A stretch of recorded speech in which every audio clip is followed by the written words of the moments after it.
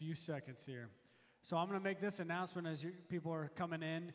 Uh, everybody will need a Bible. Uh, at, in about 45 minutes into this, he's going to have you use your Bible. He, he, doesn't want you to share, he wants you to be able to have one. So if you have access to it on your phone, if not, uh, our student staff will go grab a couple of Bibles out of the student building. We'll kind of put them on the banisters on the balcony, and you guys can grab one uh, here in a minute. Uh, but we want to make sure that everybody has a um, has access to a Bible because he's going to need that. Well, it's a privilege to have uh, Dr. Whitney back with us this afternoon to lead this Praying the Bible. I know there'll be those of you that are joining us online, and there'll be other people coming into the room here. Uh, I think you guys will be in uh, for an incredible afternoon, and then we look forward to him being with our high school and middle school parents this evening talking about family worship. So you guys can welcome Dr. Whitney to the stage.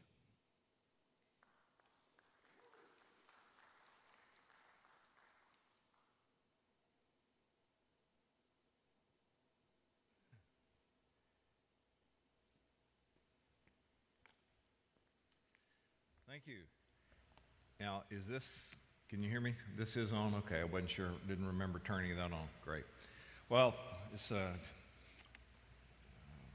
a delight to be back. Thank you for coming back. I know for some of you it's, it's quite a sacrifice. I'm grateful uh, for those who are going to be watching, um, watching online. Um, I'm going to do this a little more quickly than I, I normally do, but we'll try to um, make the most of it. So I'll do a little bit of uh, editing on the fly. When it comes to the two most important personal spiritual disciplines, the intake of the Word of God and prayer, I believe there's an almost universal problem with both. And the problem with the intake of the Word looks like this. And, and this is true even among our most devoted daily Bible readers. They take their Bible, they read a chapter, maybe they read two chapters, three chapters, ten chapters, and they close their Bible, and most days as soon as they closed their Bible, if pressed, they would have to admit what? Yeah, everybody can hear said it. I forget it, don't remember a thing I read. And everybody's, yeah, this, it's almost universal. And we tend to conclude, well, I guess it's just me. There's something wrong with me. I, I'm just a second rate Christian. I never had a good memory. I'm losing what memory I did have. Uh, I never had a high IQ, never had a great education. And so somehow or another, the problem is me. Well, all those things may be true about you, but that's not why you don't remember what you read in the Bible. The problem is almost certainly not you, it's your method. And there's a simple, permanent biblical method by which you, you don't forget what you read in the Bible. But that's not what I'm here to talk about today. Maybe I can come back sometime and talk about that. That's the most important personal spiritual discipline because the intake of the Word is, is primary. It's more important for us to hear from God through His Word than for God to hear from us in prayer. So the intake of the Word is primary, but there's almost universal problem. With prayer, there is also an almost universal problem. And it looks like this that when we do pray, we tend to say the same old things about what? The same old things. That's right. And when you've said the same old things about the same old things about a thousand times, how do you feel about saying them again? You don't? Who else? Anybody dare use the B word? Yes, boring. I think it takes courage to admit that. We can be talking to the most fascinating person in a universe about the most important things in our lives and be bored to death. Not because we don't love God, not because we don't love who or what we're praying about. I would contend that if you're indwelled by the Holy Spirit, the problem in prayer is almost certainly not you, rather, it is your method. Now, I made that very important caveat. I said, if you're indwelled by the Holy Spirit. I believe the biggest problem in evangelicalism and probably Southern Baptist life as well is the church member without the Holy Spirit the unconverted church member. By our own self reported statistics, self counted, self reported statistics, two thirds of Southern Baptist Church members aren't in church in, in pre COVID times, giving reason to at least question their salvation. Right? Not only the Lord knows, but the Lord Himself has told us by this we know we've passed out of darkness into light because we love the brothers. And if they don't love us enough to ever be with us, in person, online, anything, if they don't love us enough to ever be with us, that's reason to at least question that love, don't you think? If you don't think so, try that on your spouse. I love you. I don't care if I ever see you again, but I really love you. Well, they would at least question your love, right? But let me presume to be speaking to people who are indwelled by the Holy Spirit, anyone who would turn out or tune in on a Sunday afternoon.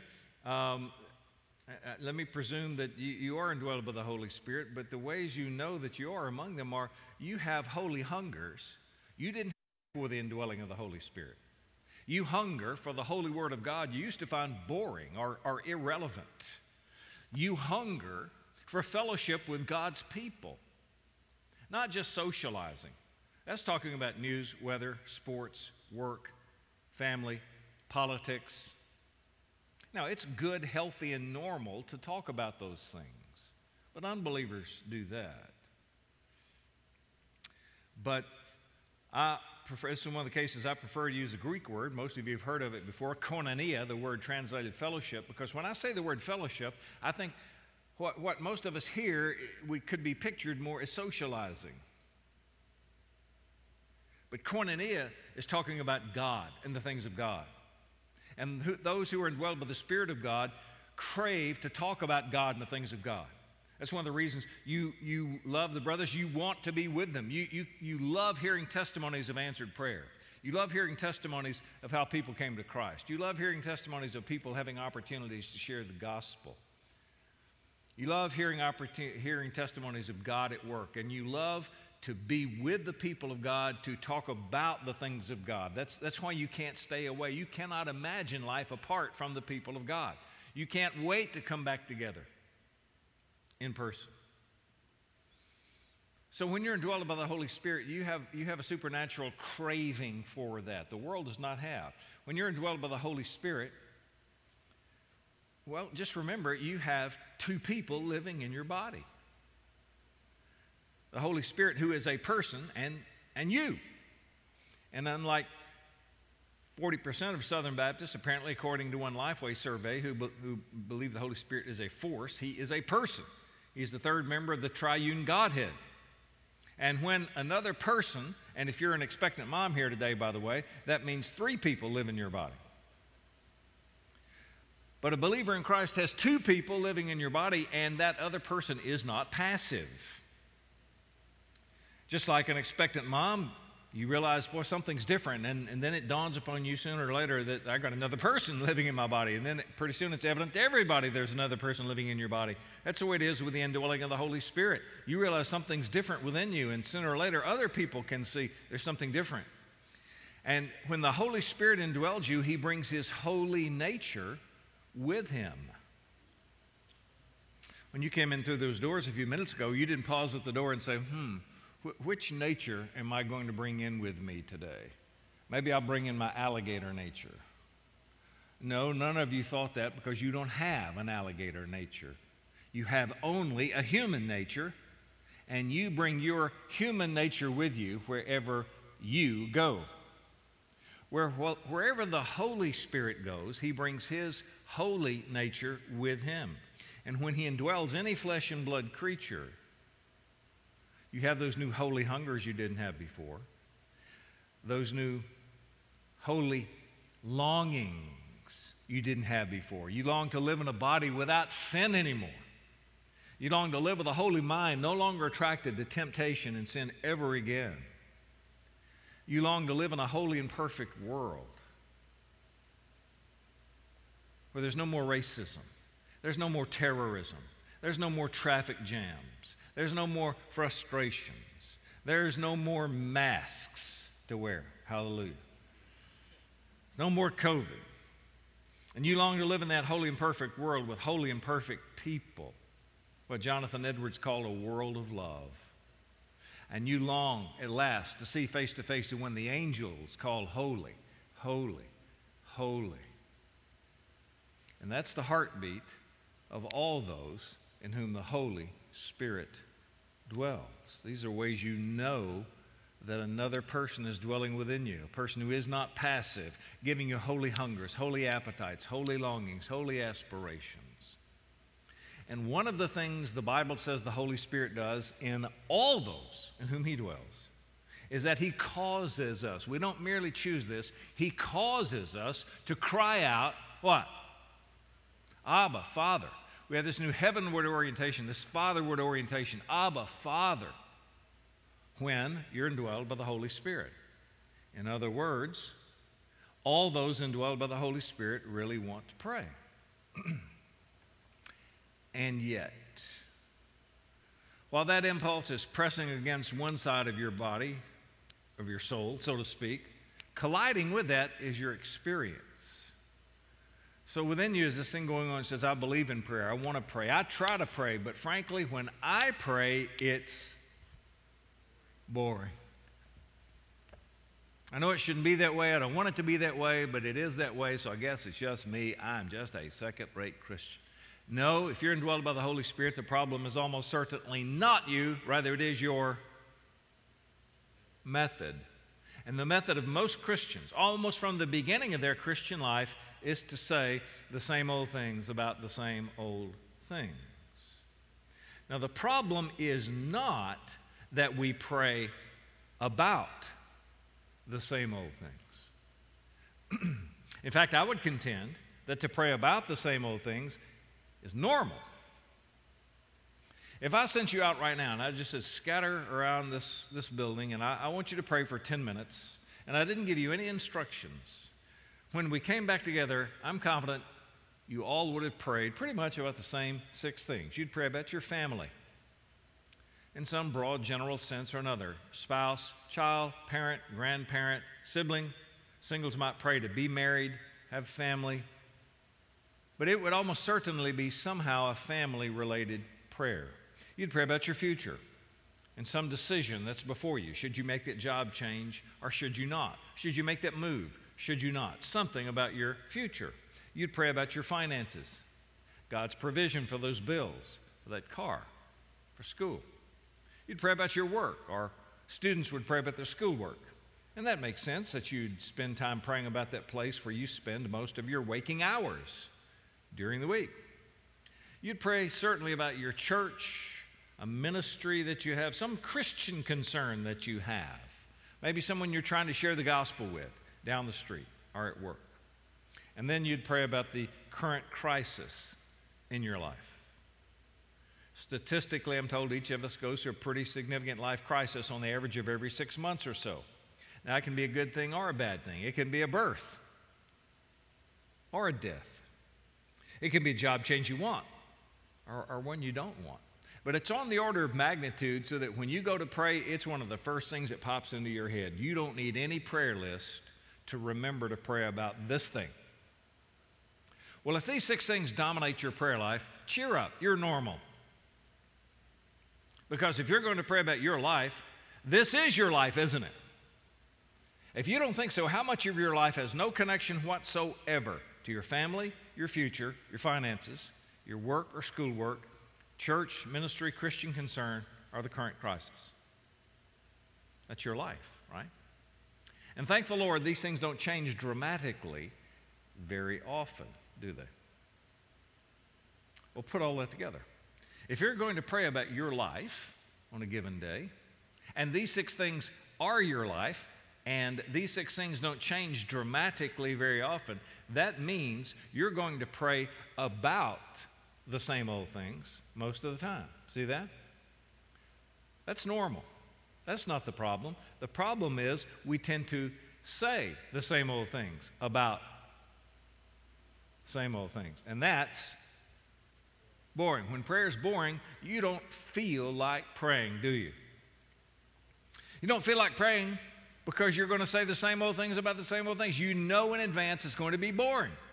And when you know in advance something's going to be boring, you don't get excited about it, do you? It's like you don't have to, you know, your kids don't come home saying, Mom, hurry up with supper. I can't wait to get to my math homework. In fact, just forget supper, forget dessert. I just can't wait. I want to get on it right now. No, you have to make them do it. Why? Because they say it's boring. When you know in advance something's going to be boring, you don't get excited about it, right? When you know in advance prayer is going to be boring, you don't feel like doing it, do you? And when you don't feel like praying, you know what you tend not to do? To pray. Oh, you may grind it out for five to seven minutes, but five to seven minutes feels like an eternity. And your mind is wandering most of that five to seven minutes. And you'll come to yourself and say, Now, wait a minute, where was I? I haven't been thinking of God for the last several minutes. And you'll come back to that mental script in your head that you've repeated so many times, and you'll pick it up again, and you'll start on from there. But because you have said it so many times, your mind almost immediately begins to wander in another direction. And we feel like failures. And all we can conclude is, I guess it's just me. I am a second rate Christian. I don't want it to be that way, but it's always been that way. No matter what I do, it ends up that way. I read books on prayer, go to conferences on prayer, hear sermons on prayer. I go back to prayer, remotivated, revitalized. Well, it's, it's pretty much saying the same old things about the same old things with just a little more oomph behind it for a while. But pretty soon that evaporates away, and here we are again, back where we were before, only now feeling more guilty than ever because we'd gone back to prayer so remotivated, so revitalized. All we're left to conclude is there's just something wrong with me. I'm a second rate Christian. I believe that feeling is almost universal. And before very long, it's easy to become like that little girl who used to go to bed every night repeating that same old sweet colonial memorized prayer, Now I lay me down to sleep. Excuse me. And one night she thought to herself, why does God need to hear me say this again? So one night she just recorded it into her phone, and thereafter she just played the recording to God every night from her phone. Now, some of you are laughing, but you have prayer recordings in your heads. They're just a little more sophisticated than that. I dare say that in most of your background, your family background, church experience somewhere in the past, there are people that when they're called on to pray, you could give their prayer. You have heard it so many times, right? If they're called on to close Bible study, they stand up or called to pray some of the time, they stand up, begin to pray, and they drop dead in the middle of their prayer. Eight other people could stand up and finish their prayer. I'm in a different church almost every Sunday. Well, sir, I was before, before the COVID. And I hear the same prayers all over America lead, guide, and direct us, bless the gift and the giver, hide the pastor behind the shadow of the cross. I mean, like beads on a string the red bead, and then here's a green bead, the blue bead will be next. Yep, there it is, I knew it. Now, maybe, maybe it's totally different in Oklahoma City, I don't know. Maybe it's the green bead, then the blue bead, then the red. It's the same prayers all the time, all over the place told you uh, uh, that I've pastored about 15 years for a, a, church in the suburbs of Chicago. One Sunday morning, the ushers came for the offering, and one of the ushers prayed before the offering. And as he prayed, I could hear someone else talking. I thought, well, surely this person will be quiet in just a moment. But as it continued, I realized it was a child. I thought, well, surely some adult's going to get this child in line in just a minute here. But it continued. So I was sitting on the platform and opened my eyes and looked, and there on the second pew was the five year old son of the usher who was praying. And what do you think that little boy was saying? Exactly what his daddy was praying. Not repeating it after him, it was in unison with him. Like we'll say the Lord's Prayer in unison sometimes, only this was Dad's prayer. They were saying together word for word. Now, how could he do that? It's because every time Dad prayed, whether it was over the supper table at home or the Lord's Supper table at church, it was the same old prayer every single time. This kid has only been in the world 60 months. And he's already memorized everything his dad prays when he prays.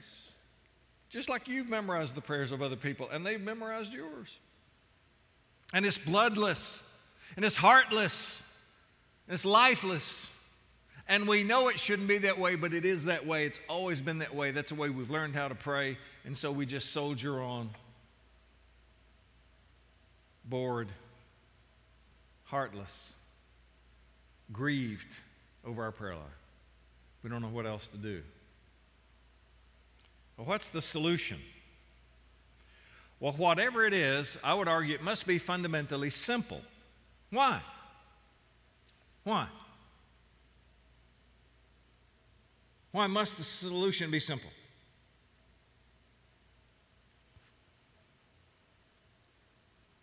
You know. Huh?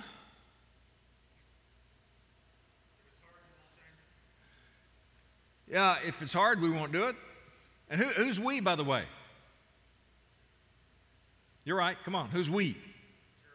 Church where? All over. All right, God has people all over the world, doesn't He? From 9 to 99. Low IQs, high IQs, very little education, a great deal of education, very few Christian privileges. I was on a mission trip once to the bush country of Kenya. Not even the pastor had a Bible. And then there are people like every person in this room and every person watching me who have many Christian privileges. You go to a church where the Bible is preached. If you haven't had to look for a church in a while, you may not realize, even in a city this big, how difficult it might be to find a church where the Bible is actually preached. You have access to, to Christian books. I mean, right here in your church building to buy or borrow. And someone who didn't have that, that they have Christian bookstores they can go to. And if someone didn't have access to that, if they can get online, they can have almost any Christian book they want tomorrow if they pay overnight shipping. If they have an iPad or Kindle, something like that, they can have almost any Christian book they want in their hands in 30 seconds.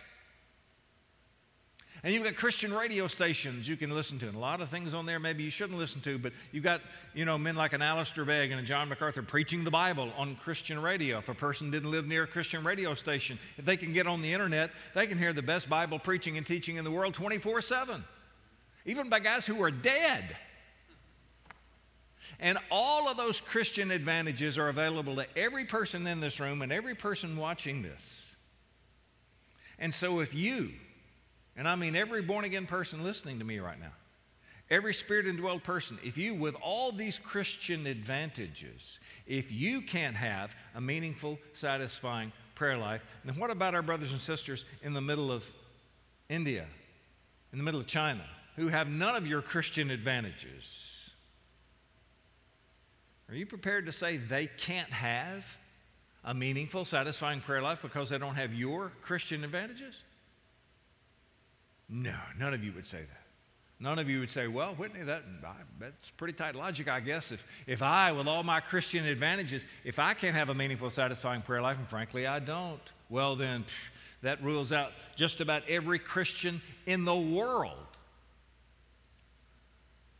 Because very, a very small percentage of Christians in the world would have your Christian advantages. And none of you believes that.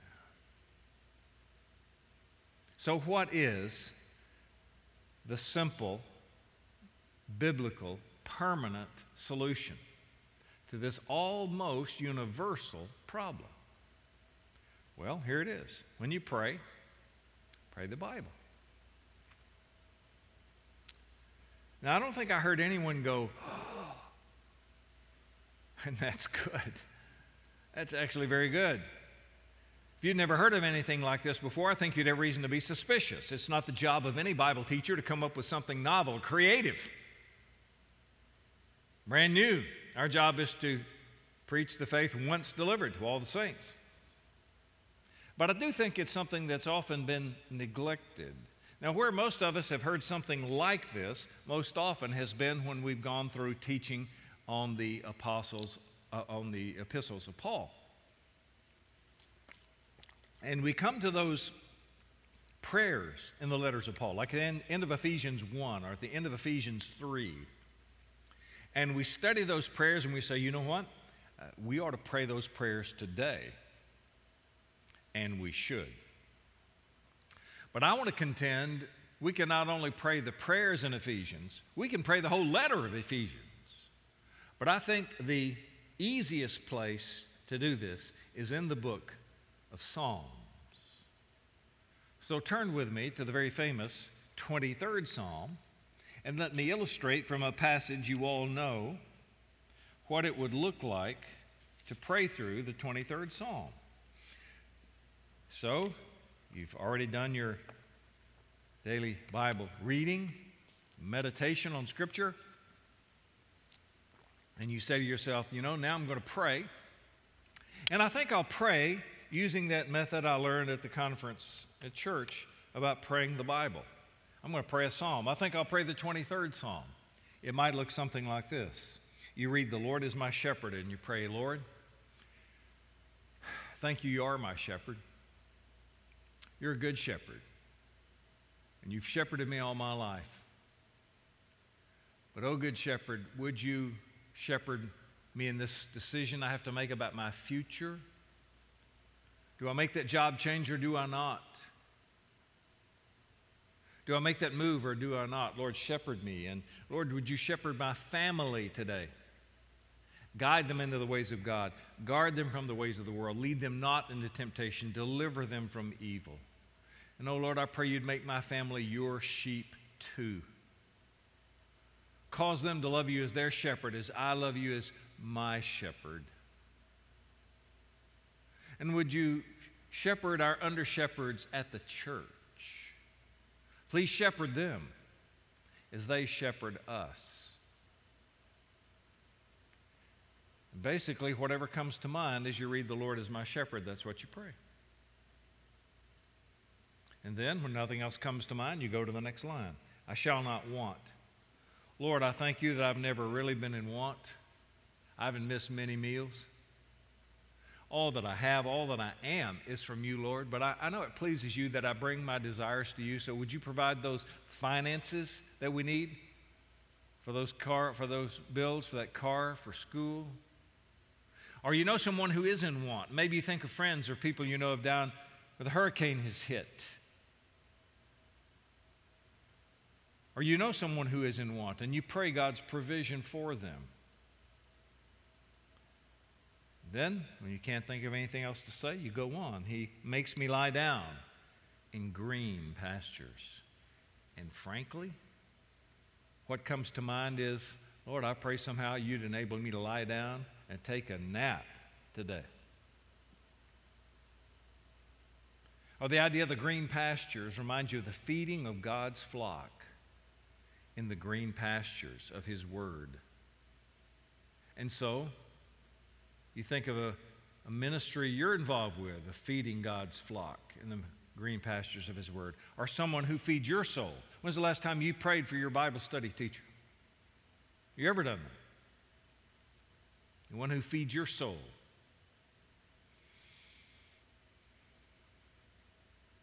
Now, when I mentioned It makes me lie down in green pastures, and what comes to mind is lying down to take a nap. Hold, hold on to that. I'm going to come back to that.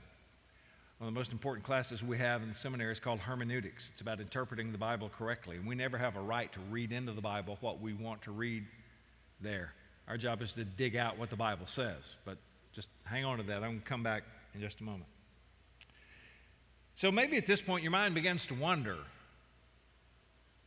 because of weariness, or you hear a noise outside, or your phone dings, or for whatever reason you get distracted. Well, now you've got something to come back to, the, the very next line. He restores, or excuse me, He leads me beside still waters. Oh, Lord, you might pray, lead me in this decision about my future. I want to do what you want me to do, Lord. I'm just not sure what that is. Lead me, Lord, and lead me beside still waters. Quiet the anxious waters in my heart. Quiet the waters at work or wherever waters need to be made quiet quiet the waters in our home. Then, when you can't think of anything else, you go on. He restores my soul. Oh, Lord, you might pray. I come to you so spiritually dry today. Please restore to me the joy of your salvation. Or maybe you think of that person down the street you're trying to share the gospel with. You pray God would restore their soul from darkness to light, from death to life. And on and on you would go through this passage, simply talking to God about whatever comes to mind as you go through it line by line. When nothing comes to mind, you go on to the next verse. If you don't understand the next verse, you go on to the next verse. If you understand the next verse perfectly, it just doesn't prompt anything to pray about, fine, skip it, go on to the next verse. There's nothing that says you have to pray over every verse. You're going to come across verses you don't understand. You're going to come across verses you just they, they don't prompt anything to pray about. Fine, just keep going. You really can't mess it up. Just talk to God about whatever comes to mind. Now let's come back to that idea of rightly interpreting the Scripture. In just about every other kind of coming to the Bible I can think of, reading it, trying to understand the meaning for purposes of application or teaching to other people, just about every other time I can think of coming to the Bible, our main priority is what does it say? What does it mean? What do the words actually say? And then what, what's the proper interpretation? What does that mean? We never have a right to read into it what we want. And where you see this actually experienced so often in a church is when you got a Bible study group and someone says, What does this verse mean to you? What does this verse mean to you? What does it mean to you? What does it mean to you? Well, frankly, it doesn't matter what it means to you. What matters is what it means to God, what God means in those words. That's the most important thing. That's our job. We don't bring meaning to it. Our job is to dig out the meaning He's put there in the beginning. And yeah, you can get that wrong. If I were had been preaching this morning on Psalm 23 and got to verse 3 and it said, He restores my soul. And I said, folks, that verse is about evangelism. That's about God restoring the souls of lost people from darkness to light, from death to life. It would have been sin if I said that. Because that, that's not what that verse means, and I know it. And yet, I think it is good and right to pray, Lord, restore the souls of my lost neighbors from darkness to light, from death to life. Because we're not what we're not interpreting the Bible here. This is not Bible study. What we're doing here, our primary activity is what? Prayer. What I'm suggesting is as you're praying through, glance at the text and talk to God about whatever comes to mind, even if, now listen carefully because this is the most potentially misunderstandable thing I will say. When I say pray about whatever comes to mind, even if what comes to mind has nothing to do with the text. Now, let me defend that statement from the text of Scripture. What does the text of Scripture tell us to pray about? Everything, right? The Bible wants us to pray about everything. So, everything that comes to mind as you're looking at the Bible is something you ought to pray about anyway, right? Let me push it to an extreme here. Suppose you're in that psalm that says, Oh Lord, if you should mark iniquities, who could stand?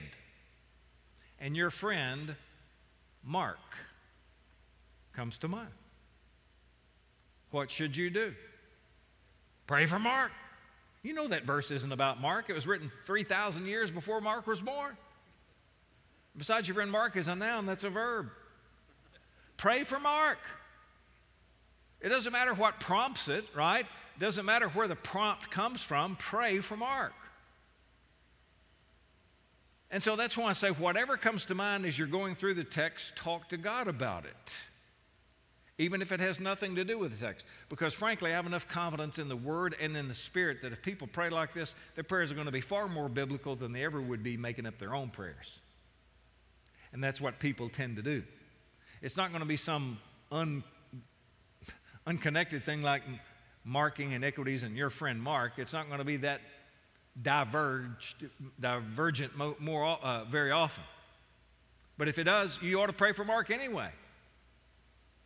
So I'm not saying look for the strangest thing you can think of. I'm just saying whatever comes to mind, talk to God about it. And if nothing comes to mind, go on until something does come to mind. So that's why I say you, you really can't mess it up. You just go through it line by line, talking to God about whatever comes to mind.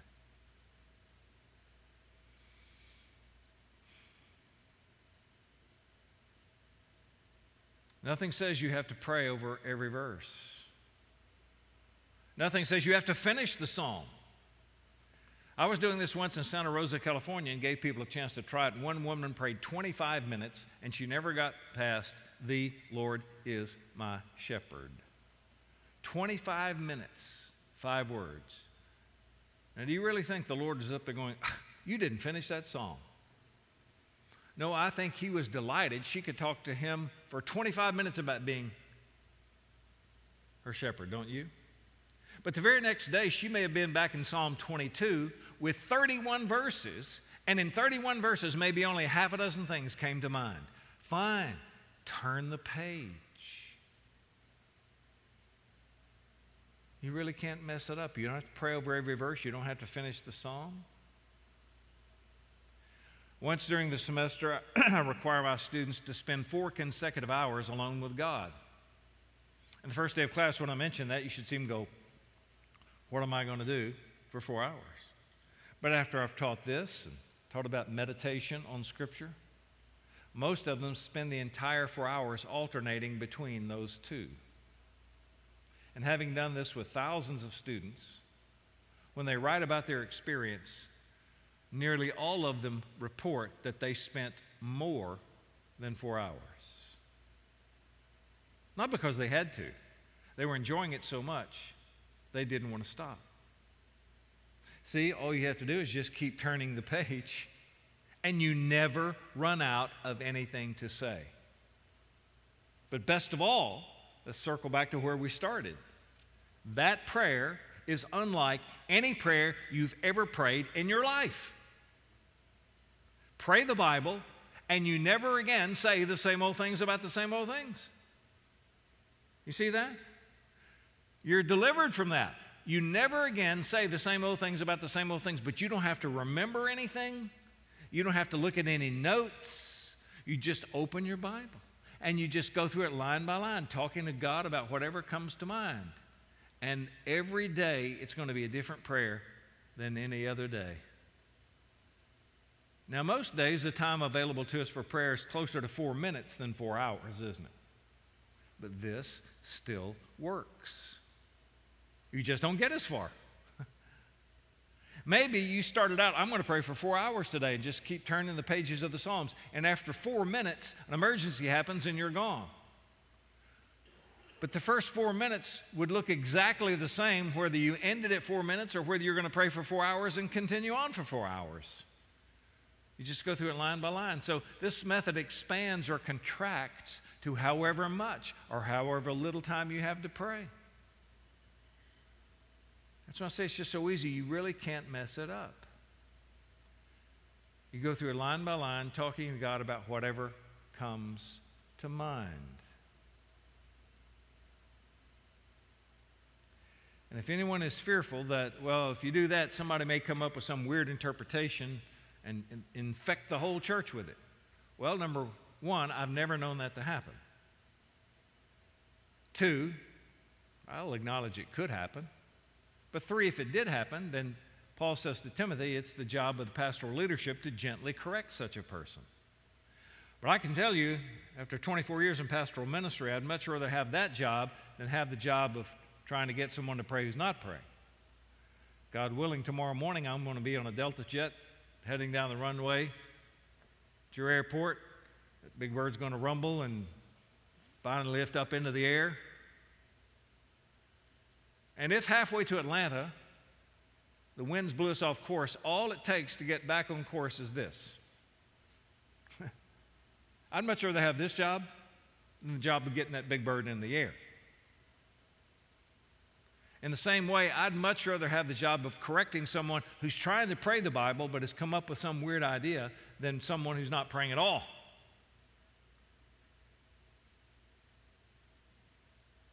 And so, as I said a moment ago, I have enough confidence in the Word and in the Spirit that people would pray like this, their prayers are going to be far more biblical than they ever would be without the Bible. Just making up their own prayers, and that's what people tend to do.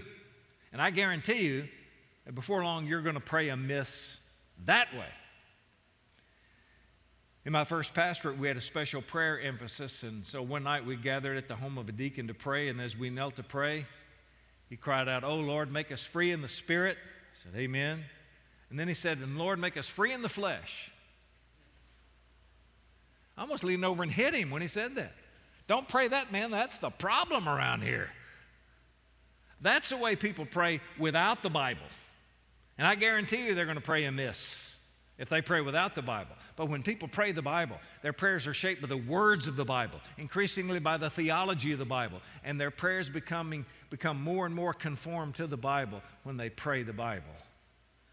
Would to God, I'd been taught to pray this way when I was young rather than just picking up phrases from people. because that's the way we learn to pray, isn't it? They're phrases that people use, they stick in our minds, we kind of string them together, and that becomes our prayer. But now you're delivered from that. And people who don't feel comfortable praying in front of others, even a small group of two or three, and I think it's often because they can't pray pretty prayers like those who can pray the lead, guide, and direct us, bless the gift, and the giver, hide the pastor behind, shout across kind of prayers. They can't pray pretty prayers. Folks, you just pray something you find in the Bible, nobody's going to get better than that. You don't have to pray some memorized phrases. Just open your Bible, talk to God about what's there. No one's going to do better than that.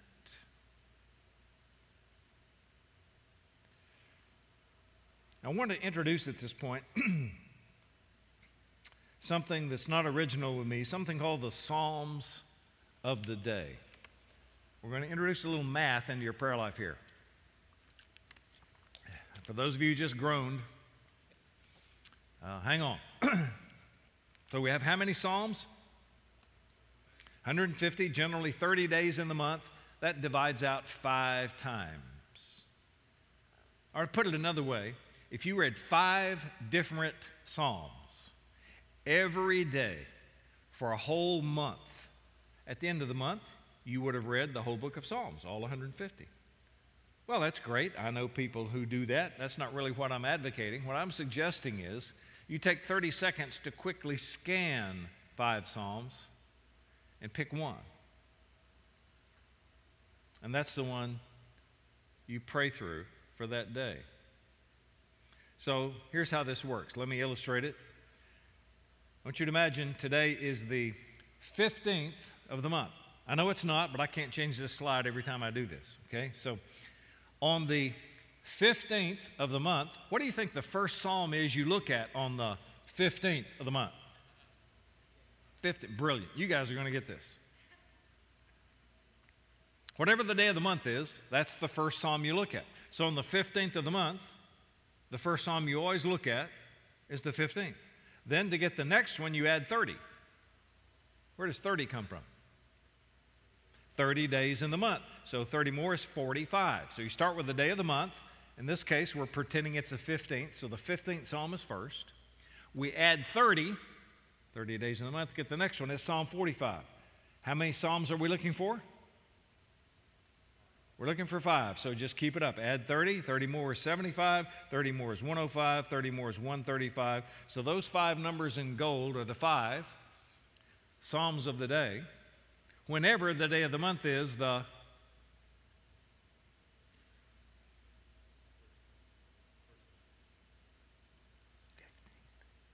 Fifteenth, brilliant, you got it.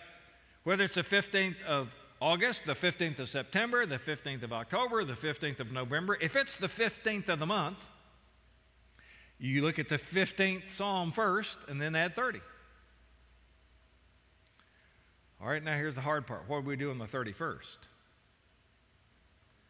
Well, my students usually give me smart aleck answers like take the day off or something like that. Psalm 119. Now, Psalm 119 is going to come up on the 29th, isn't it?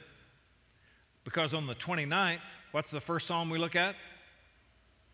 29, because that's the day of the month. We add 30 is 59, 30 more is 89, 30 more is here it is, 119, and 30 more is 149. But even if you use Psalm 119 on the 29th, you'll probably have plenty left over for the 31st. As you know, I'm a professor. So, pop quiz, class. What are the Psalms of the day today? Why 30? Today's the 30th. Great. What's next? 60. Why 60? You had 30. What, why 90? 30 more is 90. What's next? And some of you hesitated. You go up to three digits, it gets a little tougher. But it's good for your math as well as your prayer life. And the last one is 150. This is one of the easiest days to do it 30, 60, 90, 120, 150. But if that was intimidating, if you're a math phobe, if you said, I don't like this because it involves math, cheer up, technology comes to the rescue. You can let your brain rot and get this free app that does it all for you. Brother in California, who's a app developer, read my book on praying the Bible and saw a little chart in the back that I have for the Psalms of the day. Says I could make an app out of that, so he did. So I keep it here on my homepage, and um, you spell it out F I V E. There we go. Uh, F I V E, uh, Psalms. And so I keep it on the homepage there, and it opens up automatically to the Psalm of the day, Psalm 30. So there's the first one. And you just swipe 60, 90, 120, 150. You can even have it where it goes to the chapter of Proverbs for the day. So no math.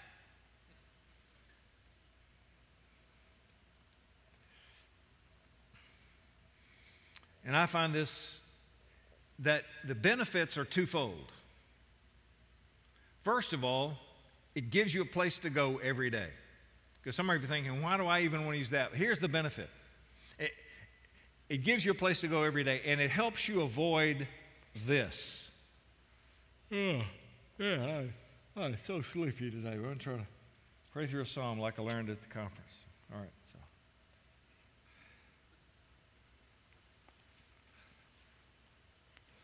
All right.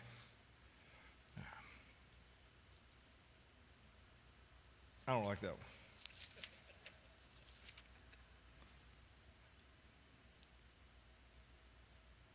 I used that one the other day. Oh, you're already going downhill, right? We need all the momentum we can get. We're already struggling, right? We need all the help we can get. This helps. Psalms of the Day helps. It gives you a place to go every single day. You're not aimlessly thumbing through your Bible.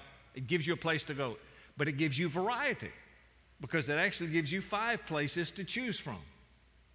That's the benefit of learning this or of using this, this free app. But it doesn't explain why the Psalms are the best place in Scripture from which to do this. So let me do that now.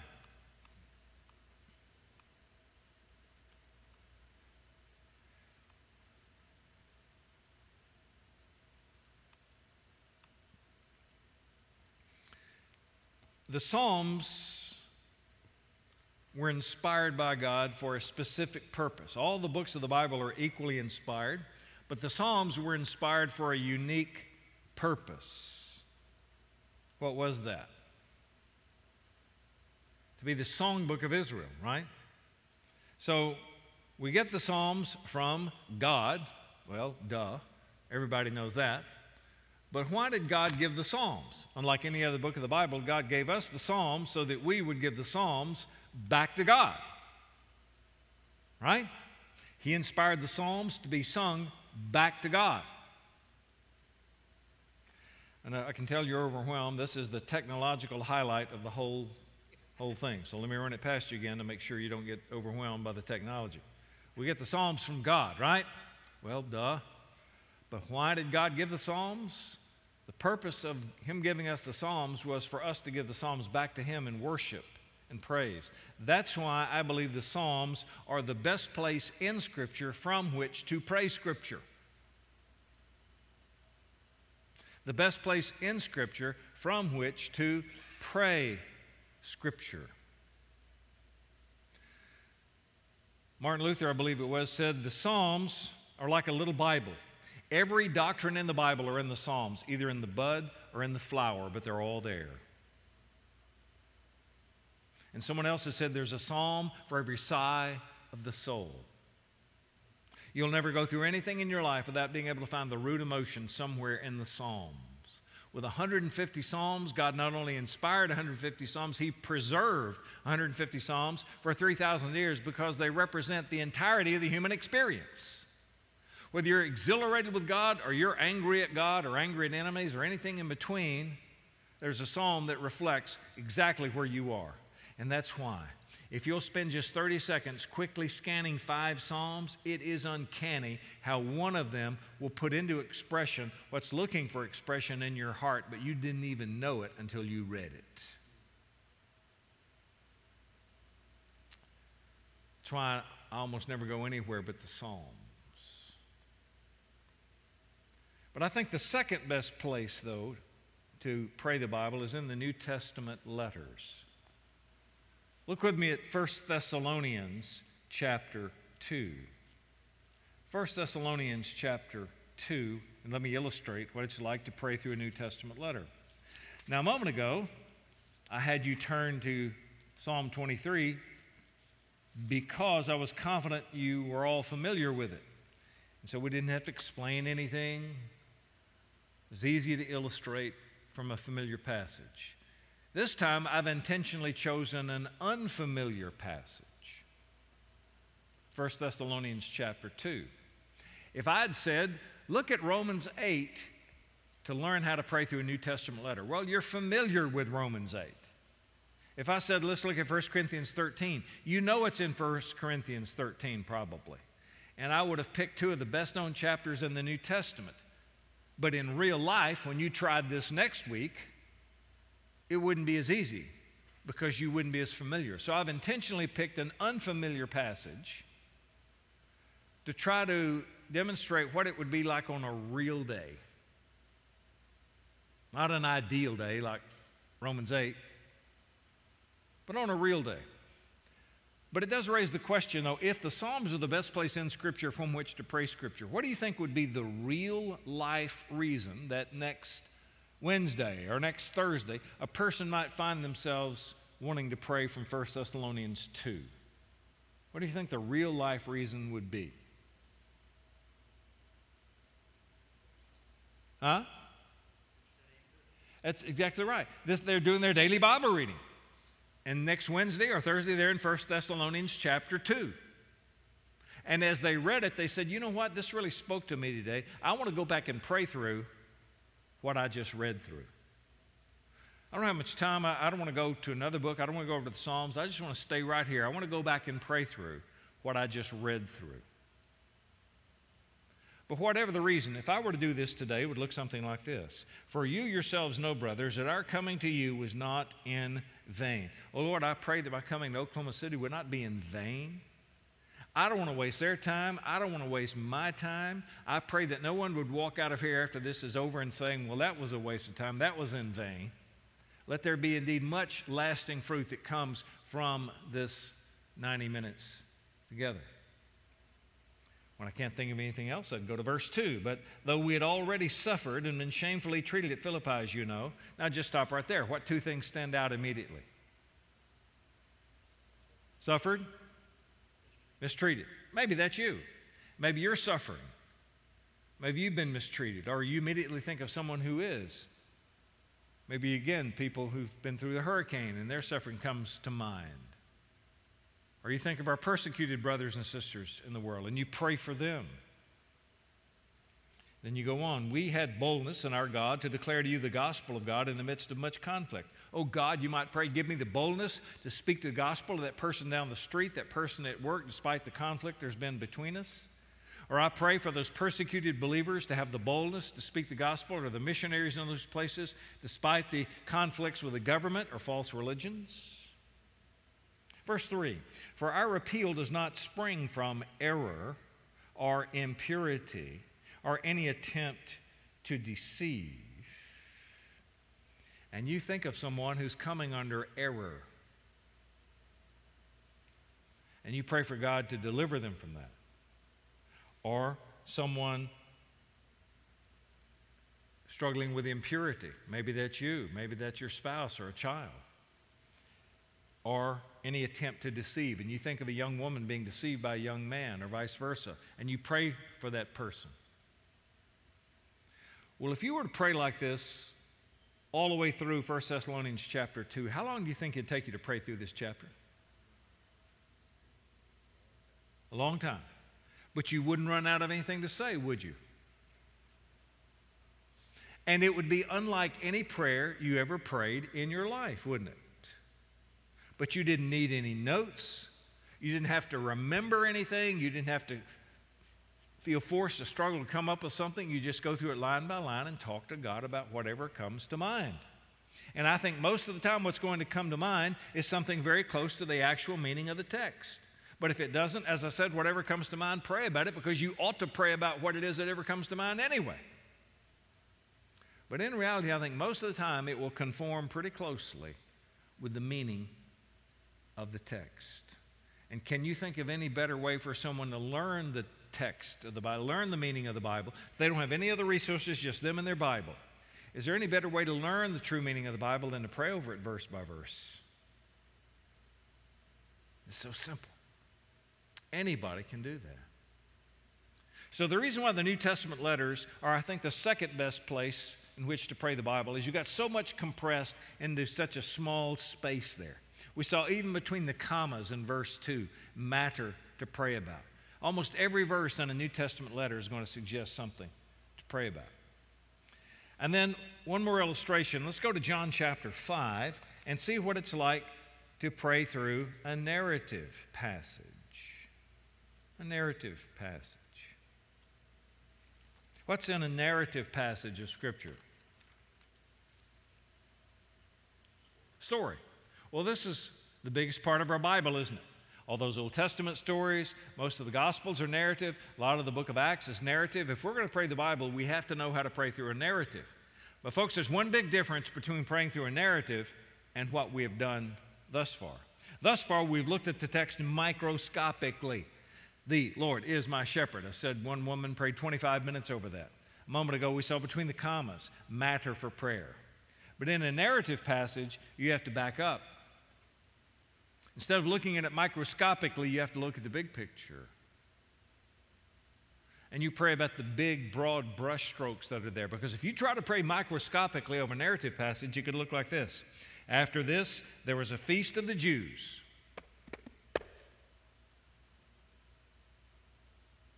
Well,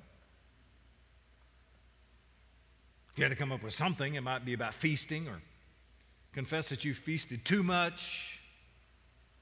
But it wouldn't be easy, would it? No, we're going to back up and get the big, broad brushstrokes that are here, the big ideas. You're probably going to look at all nine verses in this narrative and pray about the, the big ideas. And see, in a narrative passage, most of the time you have these stage setting verses after which comes the punchline. It may only be the punchline you'll pray about in a narrative, not every little detail leading up to the punchline. Now, any detail that prompts you to pray about something, pray about it. When you read here after this, there's a feast of the Jews, maybe you have some church banquet coming up and you'd want to pray about that, or whether or not you can have it. Or maybe you've got another important meal coming up in your business or in your own personal life, and, and you pray about that. You ought to. And it just pops into your head when you see the word feast. That's fine. Most of the time, my guess is nothing is going to come to mind when you read after this there was a feast of the Jews. But once having done this, I'm confident you can open up to any part of the Bible and do this. Well, now for the most important part of this whole thing. You are about to do this. As I'm talking, I want you to find the psalm, and I want this to be true for those watching the live stream as well as those in here with me. Find a psalm, doesn't have to be one of the psalms of the day, can be a favorite. Or just you're looking for an easy one, Psalm 25, Psalm 27, 139, just a, a favorite psalm, Psalm 23. I want everyone to do this. You can't share, so if you've got a Bible uh, on your phone, that's fine. I think we have some in the back. Is there anyone who needs a Bible? Raise your hand. I think we have some that were brought in. Okay, great. Uh, when I say go, I'm going to ask you to pray silently through the psalm. If you'd rather move to the side or somewhere to isolate yourself a little bit more, that's great. In just a few moments, I'll call us back together. If you're watching this on live stream, just stay within earshot of, uh, of uh, the television or computer. And when you hear my voice again, you'll know we've regathered and we're going to talk about this. So, any questions? I'm asking each person to find a psalm and on their own, not with anyone else, pray silently through a psalm, and in a few moments, I'll call us back together. Okay? Ready? Break.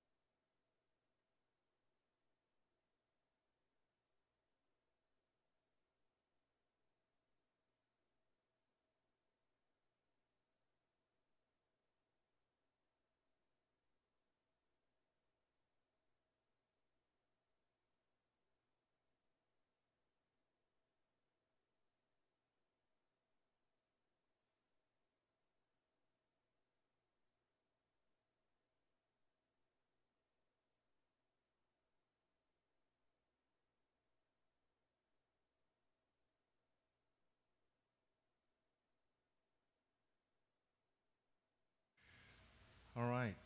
I hate to interrupt people when they're, when they're praying.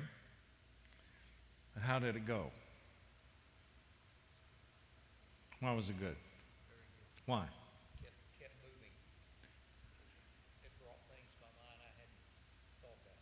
brought things to mind I hadn't thought about, he said. Now, I'm going to ask you to raise your hands here. I'm not going to call on anybody, so don't be afraid to raise your hand. How many of you, as he did, prayed about some things you normally don't think to pray about? I see your hands. That's just about everybody I can see. You pray the Bible, God will bring things to mind you wouldn't have on a prayer list if prayer list were as big as the Oklahoma City phone directory. Oh, I'm sorry. Phone directory is a book they used to give us that had everybody's name and phone number in it. And you had a big city, it was a big, thick thing. You just wouldn't think about it. But God knows when something like that needs to happen. Again, I was doing this in California one time, and we had normally I do this on a Friday night in a church, and Saturday morning we come back and talk about meditation. And so had this seven minute exercise like you just did.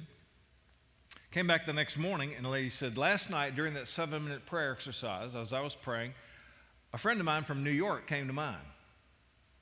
She said, I moved from New York to California 10 years ago. And in that 10 years, I've had no contact with this old friend. No phone call, no email, nothing for 10 years. But she came to mind last night, and I prayed for her. And I got home last night, and she called me. It was 1 a.m. in New York. 10 o'clock in California, but she called me. The Lord knows those kinds of things. Many of you have heard stories of people who were impressed that were awakened in the middle of the night to pray for a missionary on the other side of the world. Turns out their lives were in danger, maybe on the other side of the world. The Lord can do that while you're praying the Bible. You'll pray about things you would never think to pray about. How many of you prayed about things you normally pray about, but in brand new ways? Yeah.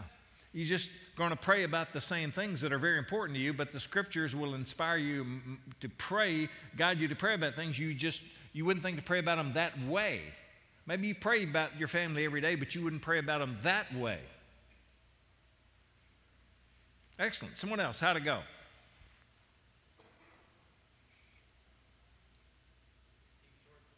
Seems short. That's good, isn't it?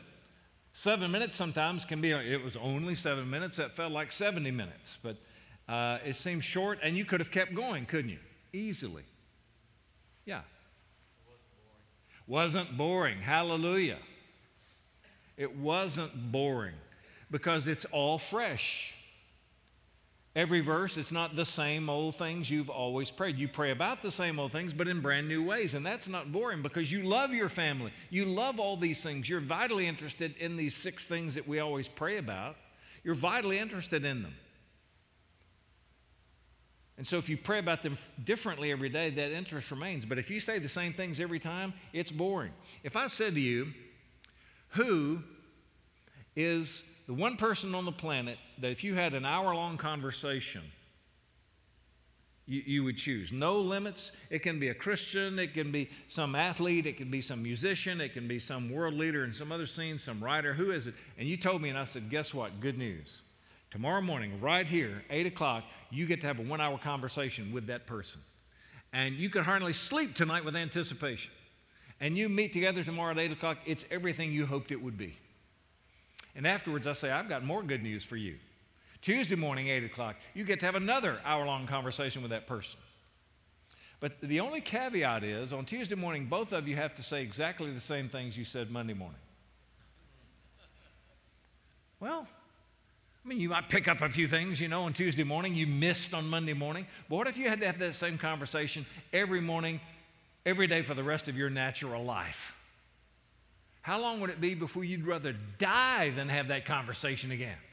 Whereas tonight you could hardly sleep. Well, folks, we can be talking to God Himself. But if you say the same things every time, it's boring.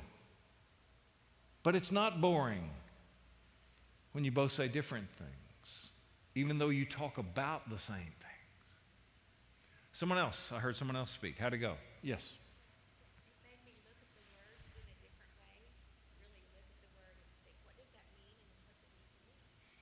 Okay, she said, made her look at the words in a different way. You know, what, what does this mean? Yeah, and it, it will bring other passages to mind, right? Other, it bring other scriptures to mind and really help you enter, engage with the Word of God. Uh huh. Yeah, she learned the you know the journalist questions: who, what, when, where, why, so forth. Uh, all these things kind of come back, and other verses come to mind as you're praying over it slowly like that.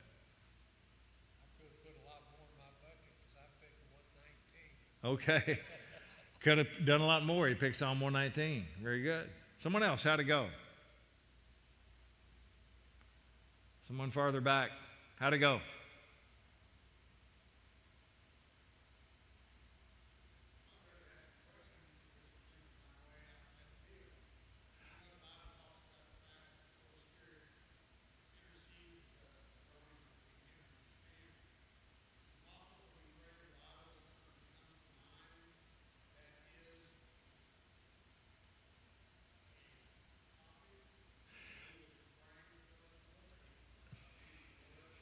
It was mentioning about uh, the Holy Spirit when, when you're praying through the Bible, something comes to mind like that.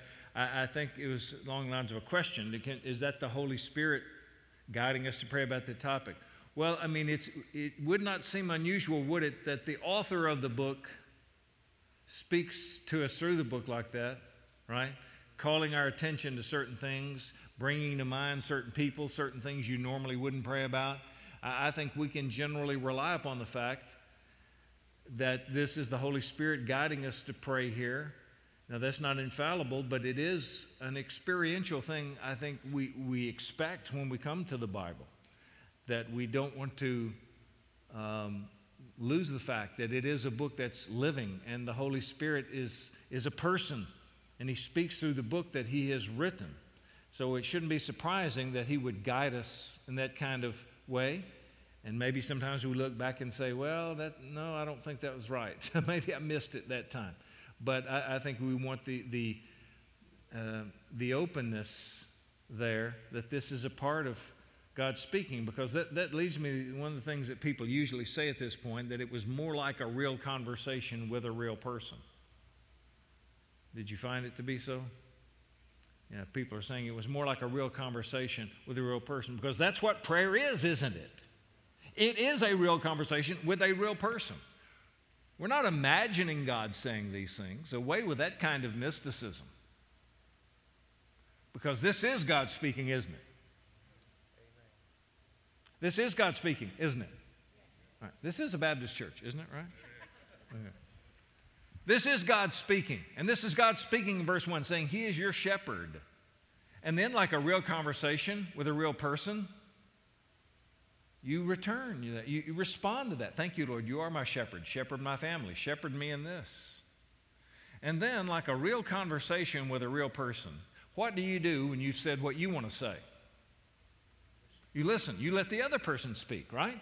And that's called read verse 2 and that's god speaking in verse 2 and maybe like a real conversation with a real person what the lord says in verse 2 doesn't prompt a response from you so God continues speaking in verse 3 and verse 4 and verse 5, and then maybe you're ready to enter back into the conversation with something He says there in verse 5.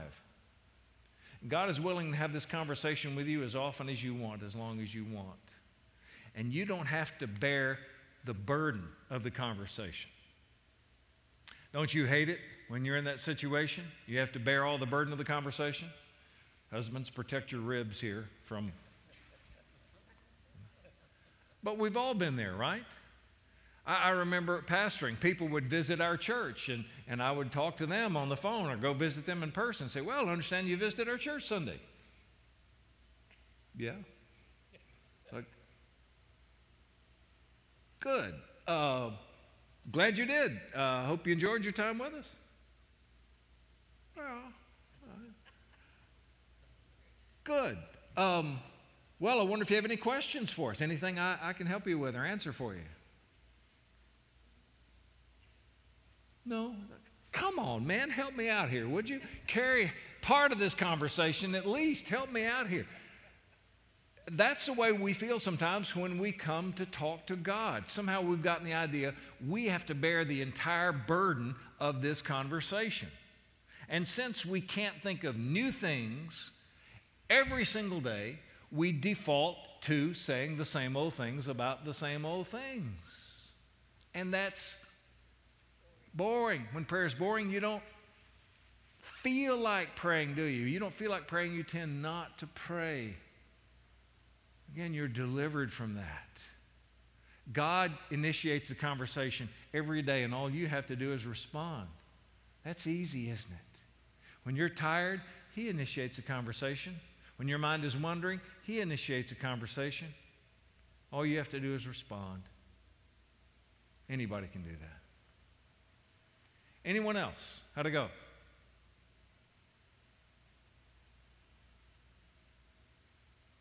Did you find it was more God centered? More God centered and less about, Lord, here I am again with what I want you to do for me. You still pray about the same things, as we said, your family, your future, finances, and so forth, but in a more God centered way, in a less selfish way. He wants us to bring everything to Him, but in a God centered way. Anyone else? I'm sorry?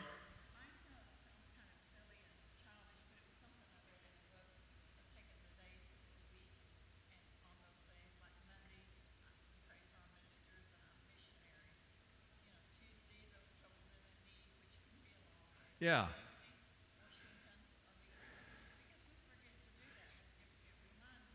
Yeah. She said she uses a method uh, to help remember to pray for certain things on Monday, pray for our ministers and, and things like that. Tuesday, uh, those trouble and in need. Wednesday, pray for Washington and things like that. that. That's great. And sometimes people will say to me, How does this intersect with a prayer list? Because if I don't have some technique like that, I forget to pray for important things. Well, I have used prayer lists sometimes and not used prayer lists sometimes. Most of the time, I just let the text suggest my prayer list. Because there's nothing that says I have to pray for people in Washington every week or every Wednesday or, or, or whatever. But if you find that you're not praying about certain things on a consistent basis, you, you can use a prayer list. Here's how you integrate them. You got your Bible here and your prayer list here. So you read, The Lord is my shepherd. Who on my prayer list needs shepherding today? I shall not want, who is in want. And that's how you can, you can integrate the two. Now, if you ever teach this to anyone else, and I certainly hope you do, there are two things you must do. And, and, by the way, if you get my little book, Praying the Bible, I'm not here to sell books, but pretty much everything I've said is in that little book. So you'd have all the notes there. It's in Spanish uh, as well. But uh, there's two things you must do. First, and most importantly, give them a chance to try it right then. Not tomorrow. You come back tomorrow. Not next week's class. They may not come back next week. Give them a chance to try it right then. Because if you don't, I know exactly what will happen. After it's over, they'll, they'll go out and say, That's a good idea. Yeah, yeah, that's a real good idea. I'll have to try that someday. And they never will. But when you give them a chance right then, that's when lives are changed. That's why no matter how short, how long, I give people a chance to try it. Usually it's not long, seven minutes, that's what you had. On campus, I give my students about 25 minutes, give them a chance to walk over the campus if they want and, and pray. I had five minutes once with junior high kids, I gave them 30 seconds to pray. give them a chance to pray right then, not next time, but right then. Second thing is give them an opportunity for feedback, like we just did, to testify about the experience, because there's something about that fresh firsthand testimony from people they know that just does something that me droning on doesn't. So give them a chance to try it right then. That's most important. And then a chance to talk about it. So, what have we learned here today? We've learned that when we pray, we tend to say the same old things about the same old things, right? The same old gray, colorless prayers every time. Can we switch back to the uh, keynote? There we go. Let's say it's bless my family. But now, when you pray through Psalm 23, it comes out as Lord, shepherd my family. And there's something about that shepherding imagery that just transforms the prayer. In one sense, it's the same prayer, isn't it? Bless my family. But when you pray, bless my family through Psalm 23, it comes out as shepherd my family. The next day, you may pray that through 1 Corinthians 13, that they would show 1 Corinthians 13 kind of love. The next day, you may pray that they would uh, become meditators on the Word of God. Isn't that a wonderful thing to pray for someone? But would you ever in your life pray that if you weren't praying through Psalm 1? The next day, you might pray that they would manifest the fruit of the Spirit. The next day, you might pray they would sense the presence of God wherever they go. Do you see it's the same prayer every single day, really? Bless my family. But when you pray, bless my family, through a different passage, it comes out a different prayer. And that's where, that's why you don't lose interest in praying this, because you love your family and you want to pray about them as often as you can. If you say the same old things, though, even that's going to be boring.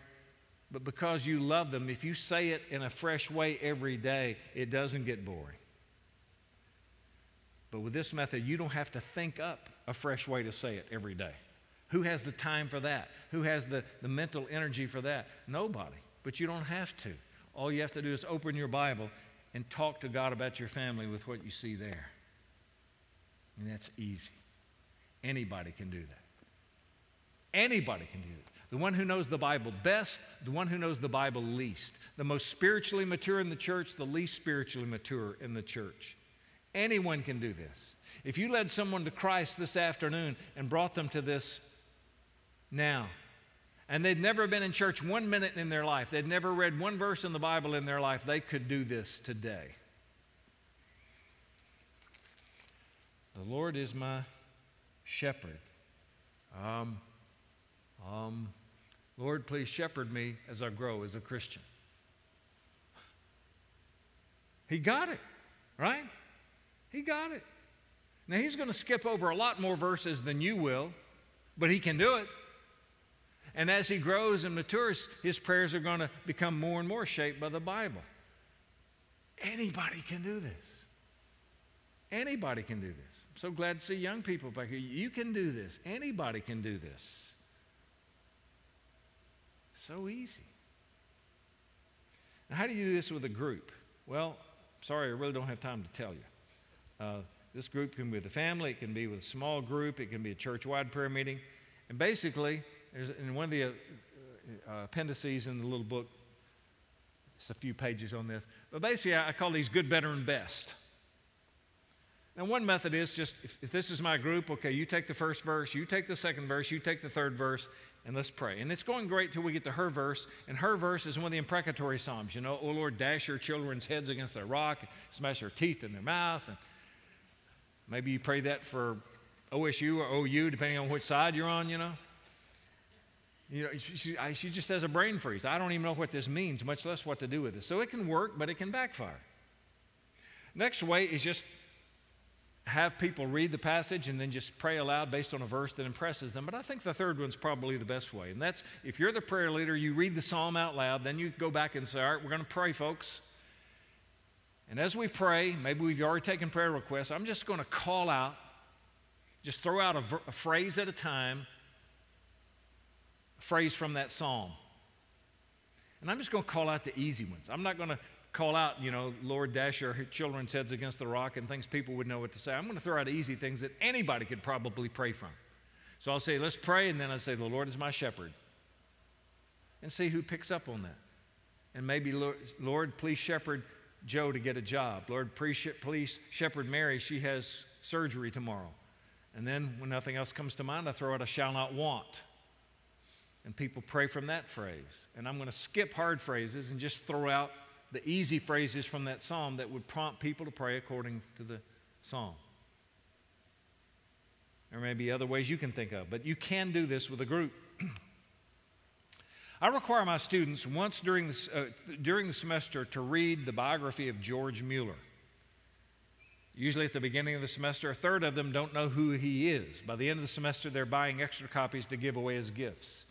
George Mueller is widely considered maybe the greatest man of prayer and faith since the times of the New Testament.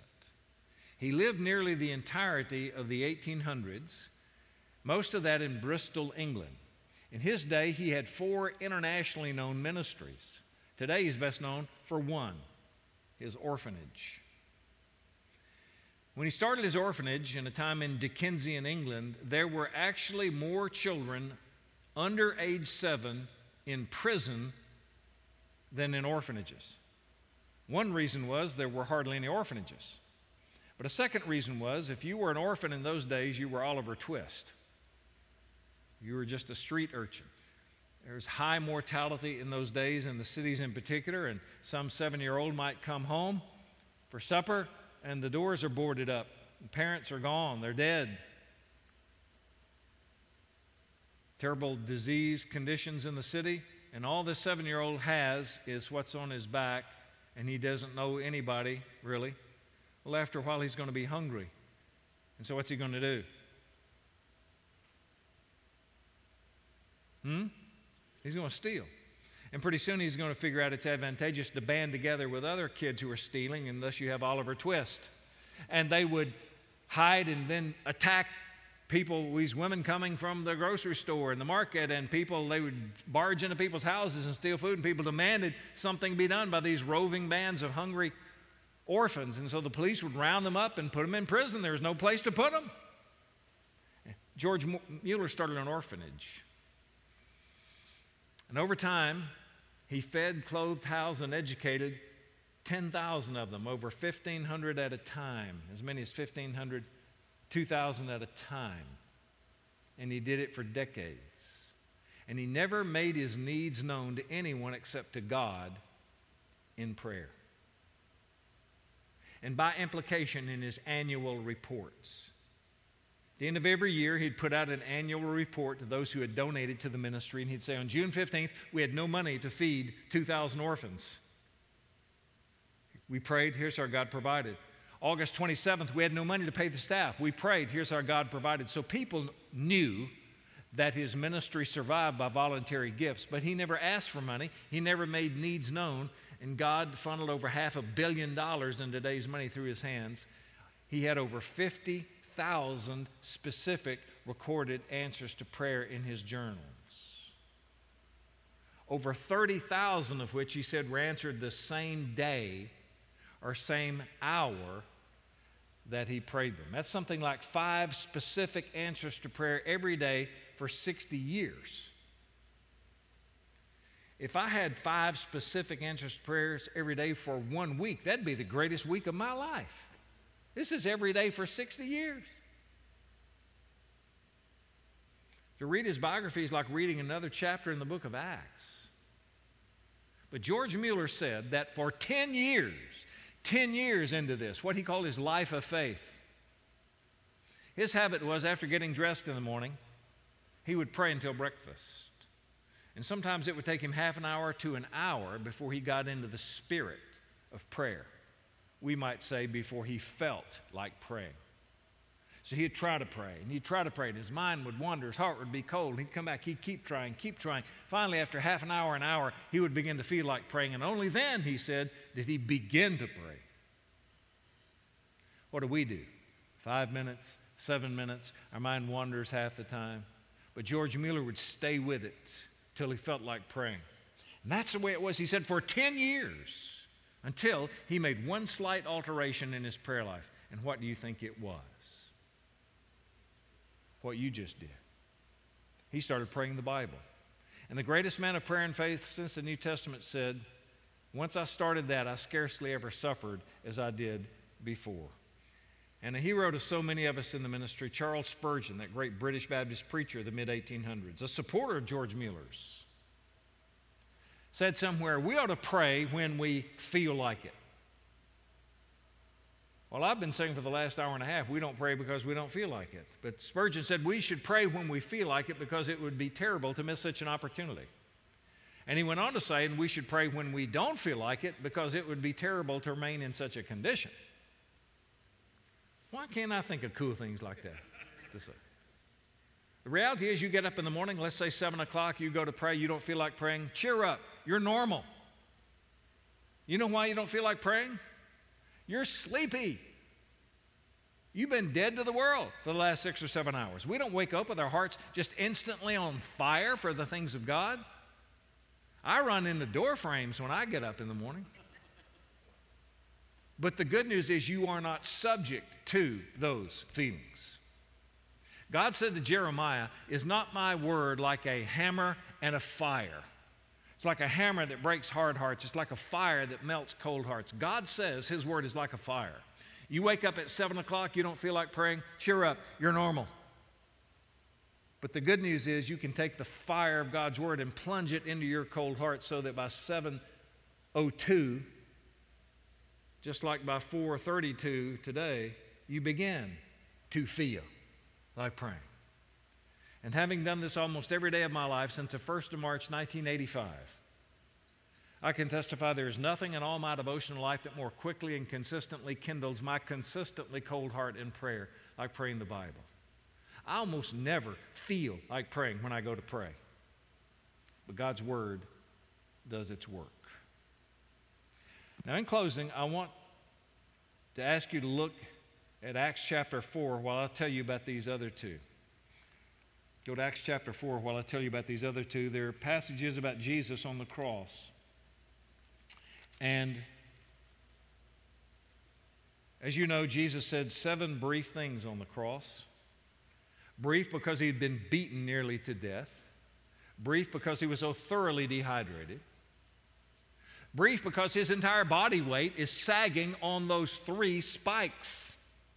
And to get enough breath in his diaphragm to speak, he had to push up on that spike in his feet, and all of his weight was on that one spike, and that was so horrifically painful. They would speak only very briefly and then sink back down.